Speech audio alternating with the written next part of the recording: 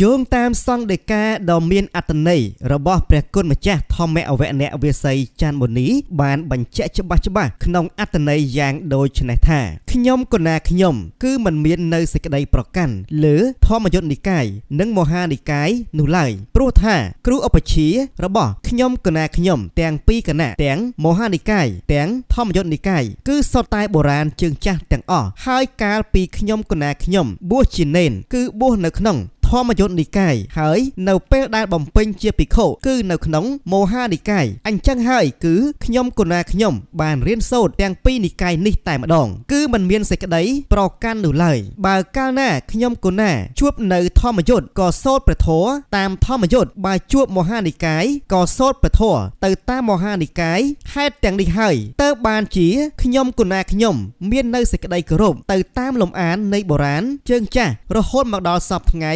ដែលបានផ្ដល់មកនៅសេចក្តីសុខនិងផ្ដល់មកនៅសេចក្តីចម្រើន ដល់ខ្ញុំកណាខ្ញុំរហូតរៀងមក ដែលនោះគឺសំដូចពាក្យបុរាណដែលលោកបានពោលថាការគោរពជឿជាក់តាមបែបដូនតាគង់តែទេវតានឹងជួយជ្រោមជ្រែងគុតផ្គង់ប្រយោជន៍ឲ្យអញ្ចឹងហើយ ប្រសិនបើលោកទាំងឡាយមាននៅសេចក្តីគោរពប្រតិបត្តិតាមបែបដូនតានោះគឺគង់នឹងទទួលបានមកវិញនៅសេចក្តីសុខនិងសេចក្តីចម្រើនដោយខ្ញុំកណាខ្ញុំយ៉ាងពិតប្រាកដព្រះគុណម្ចាស់បានបន្ថែមទៀតថាបុព្វបរោះខ្មែរយើងមុនពេលស្លាប់លោកតែងលើកដៃប្រណម្យហើយធ្វើការបួងសួងថាបើសិនជាយើងខ្ញុំស្លាប់ត្រូវស្លាប់អស់ជីវិតពីលោកនេះទៅ គឺសូមឲ្យយើងខ្ញុំ បានកើតជាខ្មោចរបស់ខ្មែរដែលអាចថែរក្សាបាននៅអរិយធម៌វប្បធម៌ទំនៀមទម្លាប់ប្រពៃណីខ្មែរនិងទឹកដីខ្មែរអញ្ចឹងហើយបើកលបុត្រកលធីតាខ្មែររូបណា ដែលមាននៅសេចក្តីគោរពទៅតាមលំអានរបស់បុរាណនោះគឺប្រកាសណាស់បុព្វបរោះខ្មែរយើងលោកនឹងផ្ដល់មកវិញនៅពោជ័យសិរីមង្គលវិបុលសុខមហាប្រសើរជាក់ជាមិនខាន លើសពីនេះលោកទាំងឡាយត្រូវដឹងថា ផែនដីដែលយើងកំពុងតែអង្គុយសពថ្ងៃនេះគឺជាកំរាលព្រំ ដែលបានយកឈាមនៃបុព្វបរោះខ្មែរយើងទៅក្រាលទៅអាចបន្សល់ទុកមកវិញ នៅផែនដីដែលយើងកំពុងរស់នៅសពថ្ងៃនេះឯងហើយតើទីកន្លែងណាខ្លះដែលថាมันមានឈាមនៃការបូជារបស់ដូនតាខ្មែរយើងនោះគឺមាននៅគ្រប់ទិសទីកន្លែងទាំងអស់អញ្ចឹងហើយបានជាថា យើងដែលកើតពីផែនដី របស់មួយនេះហើយដែលមាននៅបពៈបរោះដែលជាដូនតារបស់យើងយ៉ាងនឹងគឺយើងទាំងអស់គ្នាគប្បីត្រូវតែគោរពទៅតាមលំអានរបស់គាត់ទៅយើងទទួលបាននៅពរជ័យនិងសេចក្តីចម្រុងចម្រើនរុងរឿងនេះឯងក៏ប៉ុន្តែខ្មែរយើងមួយចំនួនទៀតតើដែលតែងតែចេះថ្មេះតេះដៀលនៅបពៈបរោះរបស់ខ្លួនថាបុរាណល្ងងយ៉ាងនេះបុរាណល្ងងយ៉ាងនោះទៅវិញតែតាមពិតអ្នកប្រាជ្ញដែលជាបុព្វបុរសខ្មែរយើងគឺលោកមាននៅចក្ខុវិស័យវែងឆ្ងាយណាស់ក្នុងការបង្រួបបង្រួមទាំងជំនឿនិងសាសនាទាំងឡាយឲ្យคล้ายទៅជាអត្តសញ្ញាណតែមួយដែលនោះគឺអាចរួមរស់ជាមួយគ្នាបានហើយក៏ជាលំអានសម្រាប់ទុកឲ្យកូនខ្មែរយើងចំនួនក្រោយក្នុងការគោរពប្រតិបត្តិដើម្បីទទួលបានមកវិញនៅសេរីនិងសេចក្តីចម្រើន រុងរឿងនោះឯងព្រះគុណម្ចាស់ធម្មវនៈវស័យចានមុនីក៏បានសង្កត់ធ្ងន់បន្តក្នុងន័យថាខ្មែរយើងឥឡូវនេះគឺមិនសូវចូលវត្តច្រើនដោយកាលសម័យបុរាណឡើយកាលពីបុរាណដើមឡើយគឺសម្បូរណាស់ ប្រជាពុទ្ធបរិស័ទទៅចូលវត្តគ្រប់គ្នាមិនថាមានអាសន្នអន់ក្រ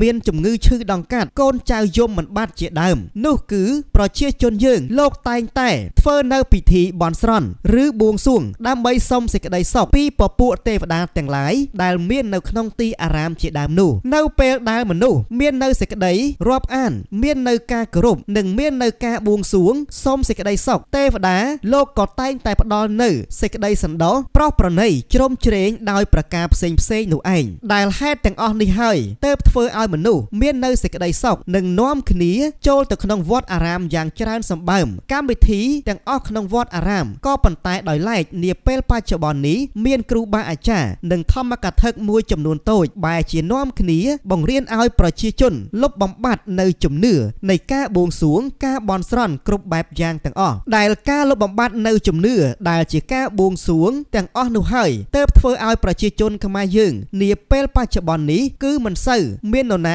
ចូលវត្តប៉ុន្មាននោះទេព្រោះថាជំនឿនៃការបន់ស្រន់ជំនឿនៃការរាប់អាន ចំពោះពពួកទេវតាទាំងឡាយជំនឿចំពោះព្រលឹងបុព្វបុរសចំពោះញាតិកាផ្សេងផ្សេងនោះគឺពិតជាមានសារៈសំខាន់ណាស់គឺជាអលង្ការដែលលម្អផ្សារភ្ជាប់ជាមួយនឹងព្រះពុទ្ធសាសនា ដែលជាមេជាធាងដែលត្រូវរួមរស់ជាមួយគ្នាផ្សារភ្ជាប់អត្តសញ្ញាណជាតិរបស់ខ្លួនហើយបុគ្គលណាដែលជាអ្នកមាននៅបញ្ញាបរមត្ថខ្លាំងក្លាហើយនោះគឺបុគ្គលនោះអាចឃើញបាននៅខ្លឹមសារពិតក្នុងព្រះពុទ្ធសាសនាក៏ប៉ុន្តែបើបុគ្គលណា ដែលមាននៅបញ្ញាតុនខ្សោយនោះគឺបុគ្គលទាំងឡាយនោះក៏អាចអាស្រ័យនៅហេតុនិងផលនៃបច្ចុប្បន្ននេះឯងអញ្ចឹងហើយបានជាយើងត្រូវតែ មានការបង្រួបបង្រួមគ្នា រវាងជំនឿនិងសាសនានេះទើបអាចទទួលបានមកវិញនៅផលចំណេញគ្រប់យ៉ាង បានដែលនេះហើយគឺហៅថាការបង្រួបបង្រួមតាមទស្សនភាពជាក់ស្ដែងមួយវិញទៀតខ្ញុំកូណាខ្ញុំក៏មិនដែលជាអ្នកដែលជ្រុលនិយមអ្វីនោះឡើយ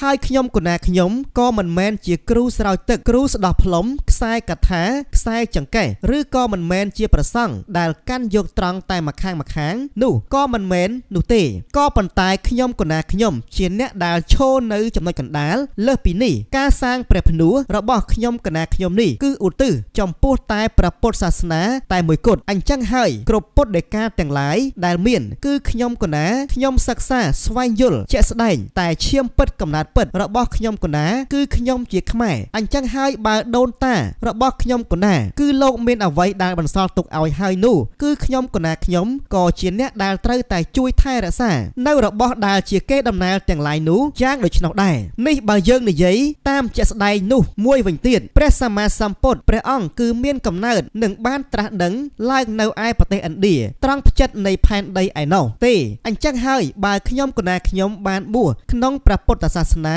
តើគិតចង់ឲ្យខ្ញុំកណាខ្ញុំបោះបង់ចោលនៅវប្បធម៌របស់ខ្មែរហើយកាន់យកតាមបែបឥណ្ឌាទាំងអស់ទៅឬនេះហើយបើសិនជាយើងចង់និយាយរោគខុសរោគត្រូវនោះមួយវិញទៀតព្រះពុទ្ធអង្គនៃយើងទ្រង់ក៏បានទុកផ្លូវត្រង់ឲ្យដល់មនុស្សជាតិឲ្យដល់ទេវតាឲ្យដល់ព្រះឥន្ទព្រះព្រំផងដែរក៏ប៉ុន្តែសម្រាប់ខ្ញុំកណាខ្ញុំវិញ គឺបានដឹងយ៉ាងច្បាស់ថាទោះបីជាខ្ញុំកណាខ្ញុំដើរត្រង់លើផ្លូវនេះក៏ដោយក៏នៅតែមិនអាចរួចចាកអំពីវត្តដាក់នេះក្នុងជាតិនេះបានដែរអញ្ចឹងហើយទៅបានជាខ្ញុំកណាខ្ញុំសង្គ្រោះដល់វប្បធម៌ប្រពៃណីទំនៀមទម្លាប់ជំនឿដែលជាអរិយធម៌និងជាអត្តសញ្ញាណរបស់ដូនតាខ្ញុំសិនព្រោះខ្ញុំកណាខ្ញុំខ្លាចបាត់បង់រហូតធ្វើឲ្យប្រទេសយើងលែងមានក្បួនខ្នាត ដែលជារបស់ខ្លួននោះព្រះគុណម្ចាស់ធម្មវនៈវេស័យច័ន្ទមុនីបានមានសង្ឃដីកាបន្តក្នុងន័យចាស់ដូច្នេះថាខ្មែរយើងសពថ្ងៃនេះគឺនាំគ្នាឆ្លោះតែជាមួយនឹងរបស់ខ្លួនឯងនាំគ្នាឆ្លោះតែជាមួយនឹងគេដំណែលរបស់ដូនតារបស់ខ្លួន ដែលចែកឲ្យតែប៉ុណ្ណោះក៏ប៉ុន្តែសម្រាប់វប្បធម៌និងជំនឿរបស់អ្នកផ្សេងដែលបានចូលមកដោយសេរី គឺខ្មែរយើងបែរជានាំគ្នាស្ងាត់ឲ្យឈឹងគ្មានមាត់កអ្វីនោះឡើយអញ្ចឹងហើយបានជាថាសូមអស់លោកទាំងឡាយមេត្តាលៃយ៉ាងណា សូមកុំបន្តចម្រងចម្រាស់គ្នាតទៅទៀតអីបើអ្នកណាពូកែខាងអីក៏បន្តជំរុញខាងនោះទៅចោះតែមិនត្រូវរុញហើយទាញនោះឡើយមានន័យថាបកគលណាដែលជ្រះថ្លាក្នុងធម៌ណាក៏ចូលទៅបដិបត្តិក្នុងធម៌នោះទៅធ្វើបែបនេះទៅយើងទាំងអស់គ្នាទទួលបានមកវិញនៅសេចក្តីសុខនិងសេចក្តីចម្រើនក្នុងជំនឿនិងសាសនានេះឯងហើយសូមអស់លោកទាំងឡាយចងចាំថាសុខគឺរមែងកើតឡើង អំពីខ្លួនយើងដែលជាអ្នកបង្កើតនៅសុខមិនថាសុខក្នុងពេលបច្ចុប្បន្នឬក៏សេចក្តីសុខក្នុងបរមលោកនោះឡើយលើសពីនេះថាតើអ្នកដតីអាចផ្ដល់ឲ្យយើងនៅសេចក្តីសុខដែរឬទេចម្លើយនោះ